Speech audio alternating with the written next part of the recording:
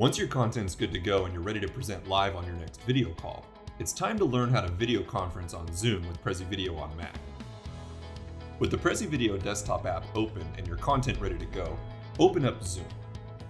You'll see Prezi Video automatically connect. To double check that you're connected, check to see that the Prezi camera is selected as the video source, here. Heads up that you will need to turn off your virtual background. To navigate through your content, use the Prezi Video window and select the left and right arrows here or on your keyboard, or click directly on anything you want to zoom to. Before presenting, you can also hide the main panel of the app here. This way, you don't need to have both Prezi Video and Zoom open next to each other. You'll still see the upcoming slides and the navigation arrows in the side panel. Your presenter notes will appear along the top if you have any.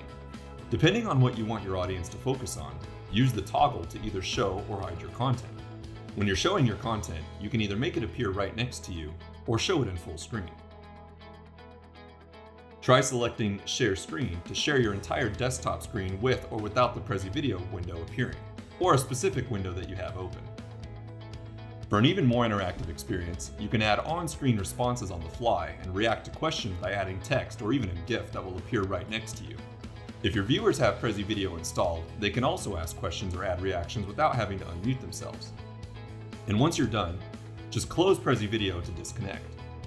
To make sure you're disconnected, you can go back to Zoom and switch to your default camera from the Prezi camera. And that's it. You're now ready to video conference with Prezi Video and Zoom on a Mac.